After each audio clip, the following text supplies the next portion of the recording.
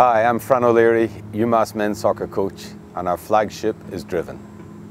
Well, our goals are to get better and have fun, and we have to drive each day. There has to be a certain drive amongst our players in order to get better, and that's why collectively we came up with the word Driven. We passed it over to the players, and the players, in conjunction with the staff, came up with the word driven, motivated players. They, they have to have an urge, a desire, a drive to become as good as they can be. Each day we are driven to get better. We get up in the morning, the players go to class, they come to practice, they take care of themselves.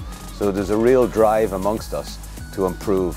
And if we look at ourselves at the start of each season, the hope is game in, game out, we'll get a little better and we'll drive on and hopefully have a very good season.